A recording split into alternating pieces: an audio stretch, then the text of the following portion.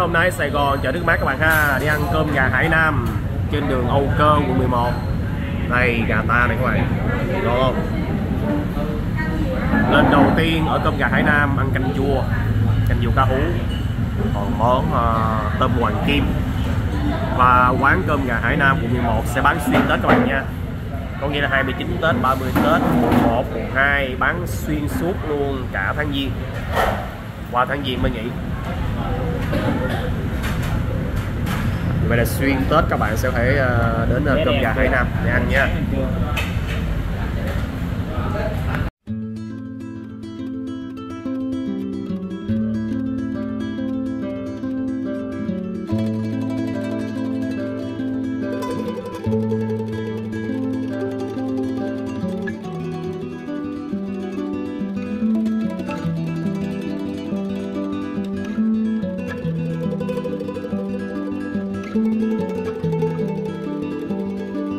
Rồi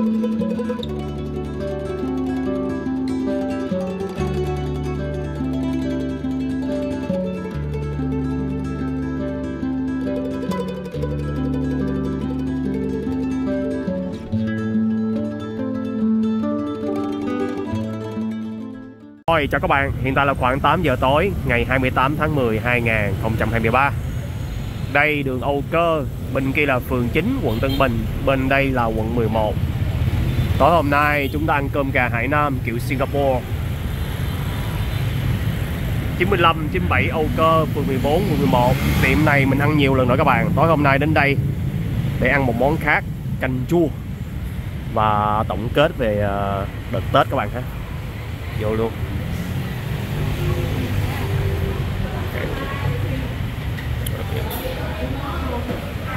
Quen với ông bà chủ đây à. Tối hôm nay món mình sẽ ăn là gà ta có giá là một trăm rưỡi các bạn ha cho một phần nhỏ. Ở đây có gà ta xá xíu heo quay phá lấu lòng à, ờ, những cái món này mình đã từng ăn và đã từng review rồi. Lượt qua cái mình. Tôm hoàng kim. Có giá phần nhỏ 100 ngàn đồng các bạn ha. Ngoài ra mình sẽ gọi thêm một cái món là canh chua cá ba sa à, canh chua cá hú. Giá nhiều không biết nữa. Chưa nói à. Rồi để món ăn thôi. Gì à? ok rồi. Tết năm nay thì uh, quán cơm gà Hải Nam ở đây sẽ uh, bán xuyên Tết luôn các bạn. Có nghĩa 29 Tết, 3, 30 Tết, mùng 1, mùng 2 bán luôn hết cả tháng Giêng. Và dự kiến sau tháng Giêng là sẽ uh, nghỉ ngơi. Chưa biết nữa Anh nói là nghỉ nửa tháng đúng không? Uh, một lát nữa mình sẽ hỏi ảnh uh, về giá cả của uh, trong đợt Tết sẽ tăng như thế nào. Món đã đến các bạn, đầu tiên chúng ta có món gà. Đây là phần gà ta ha.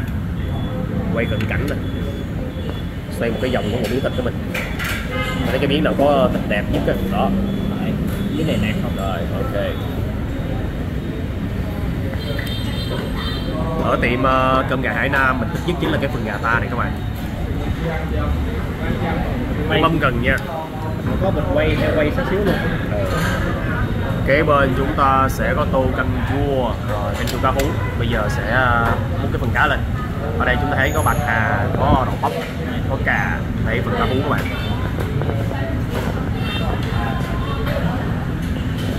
Tôm hoàng kim mấy điểm năm con. Lấy cái đủ gấp lên mình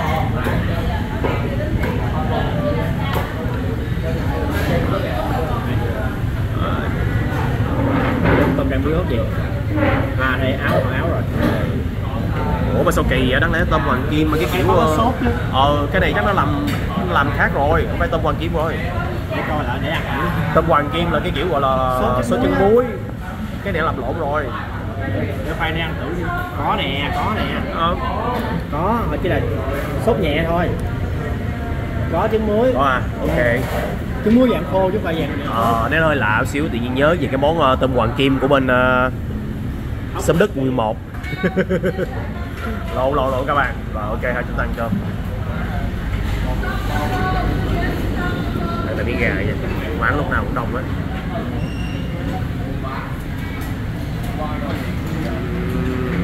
Ok ông chủ ờ, với bà chủ ờ, dễ thương nhân viên cũng dễ thương thân thiện.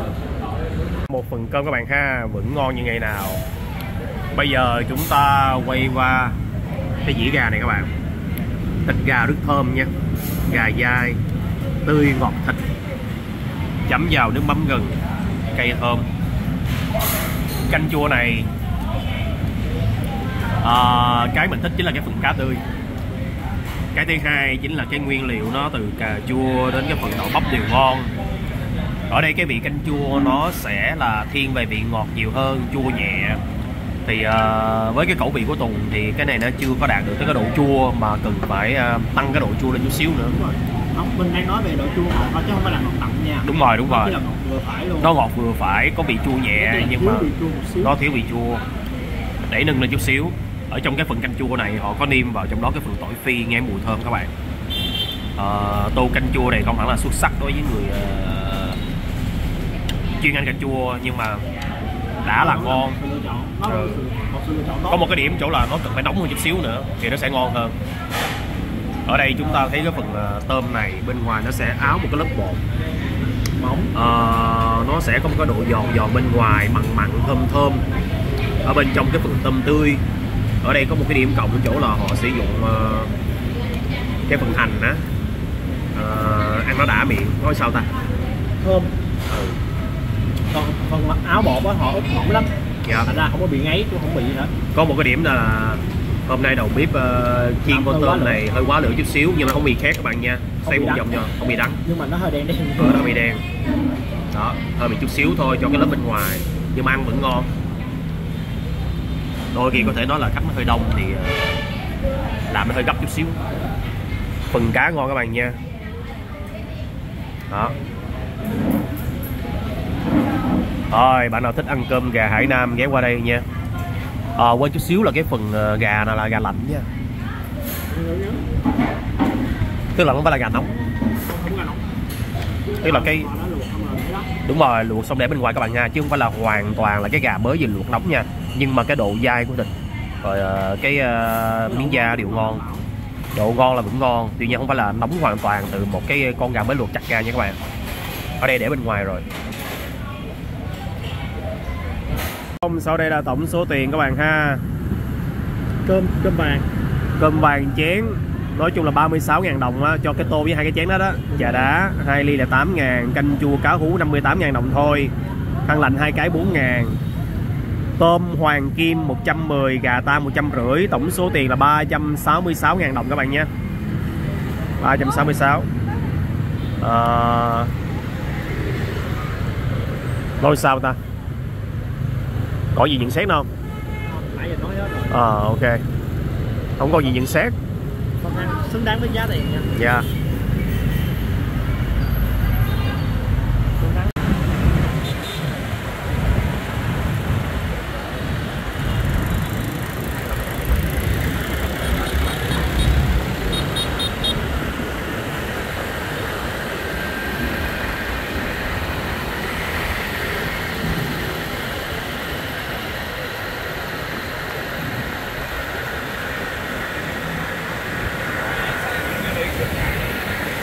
ông dữ vậy trời.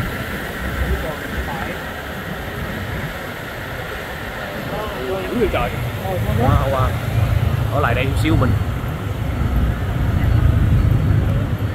Lâu lâu quay lại khúc này vui ghê hả? Mọi đồng 9 giờ 40 phút tối các bạn ha. Ngay khu vực bưu điện Sài Gòn. Nhà thờ Đức Bà cực kỳ đông luôn, các bạn quan sát nè. Góc bên bển, ngồi bệt. Đằng kia, ngồi ghế ở đây ngồi bệt. Tuốt của bên kia cũng vậy luôn.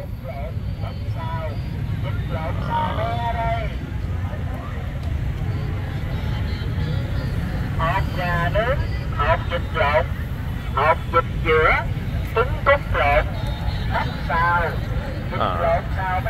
góp một cái đúp. Bánh tráng trộn bánh tráng trộn hồ lô nướng.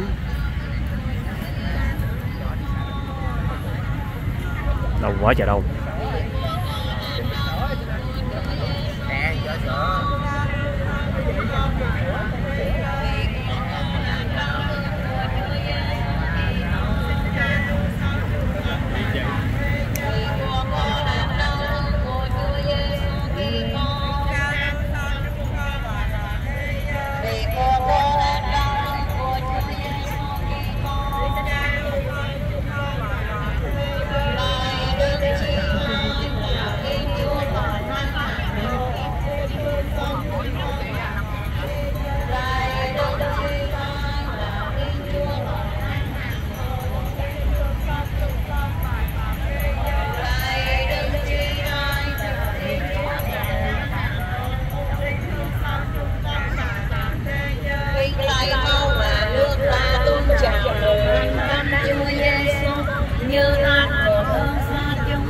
hết chỗ ra luôn. Quá trời đông cây lai mau à đưa ta tung chào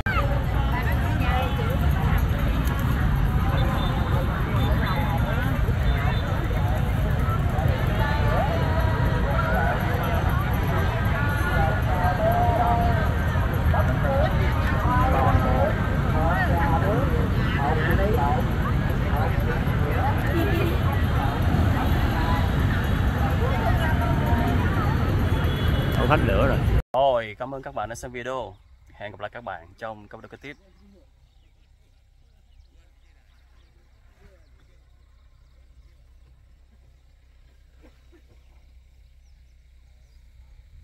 Safari.